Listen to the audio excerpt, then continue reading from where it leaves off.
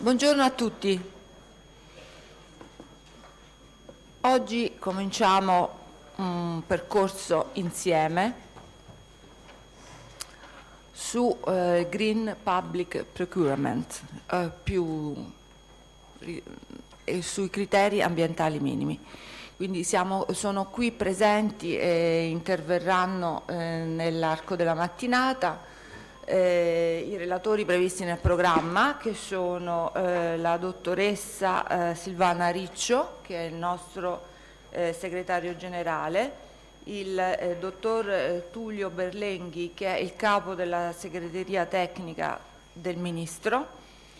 poi a mio fianco c'è la collega la dottoressa Lombardi che è sempre un dirigente del Ministero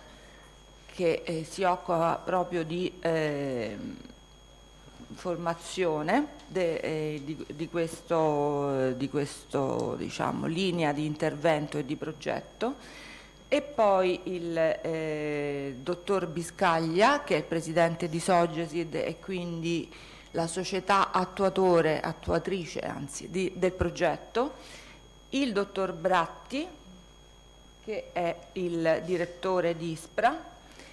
e poi in platea abbiamo anche il nostro ah, bene amato direttore, il dottor Grimaldi, bene e amato. bene amato.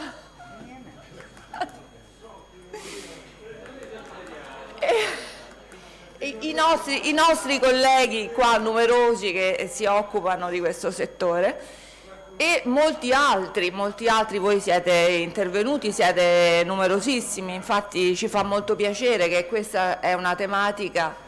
che suscita interesse, perché suscita interesse sia in positivo che eh, in negativo, devo dire, cioè con delle criticità. È proprio questo infatti il, il tema principale di questa nostra attività, perché il Ministero con tante azioni concomitanti si propone di, eh, di, fare formazione perché eh, sul tema dei criteri ambientali minimi che come sappiamo tutti è diventato obbligatorio, sono obbligatori oramai per partecipare a una gara pubblica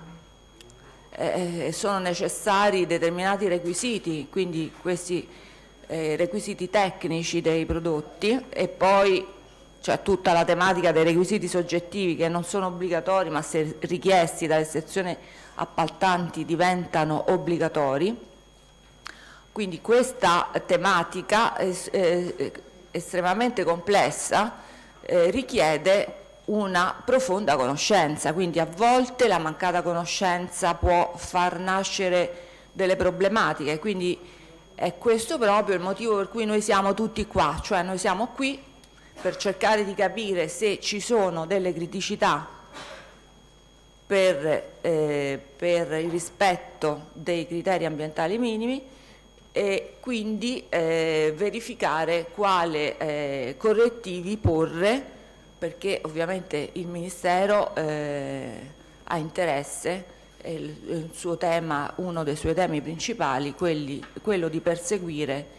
sulla obbligatorietà dei criteri ambientali minimi che consentono anche poi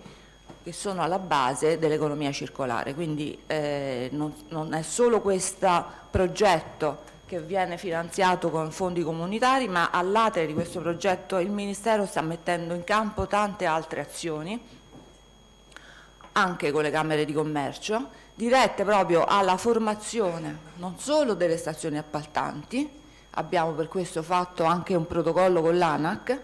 ma anche eh, alla formazione delle piccole imprese, che sono quelle che nei nostri incontri, eccetera, protestano un po' di più, forse protestano senza a volte eh, comprendere perché la norma in effetti a volte non è chiara. Ecco, io eh, vi auguro eh, di approfittare in un certo senso, di cogliere queste opportunità di formazione che, eh, sono, eh, che, che, che non certamente eh, non saranno certamente inutili ma saranno molto utili e eh, di, eh, vi auguro anche un buon lavoro eh, che nella giornata a seguire eh, verrà poi, verranno poi introdotti dei momenti di eh, conversazione più diretta dove voi potrete sollevare i vostri dubbi e noi potremo se possibile rispondere. Quindi eh, arrivederci, ci vediamo dopo. Adesso passo la parola alla dottoressa Riccio.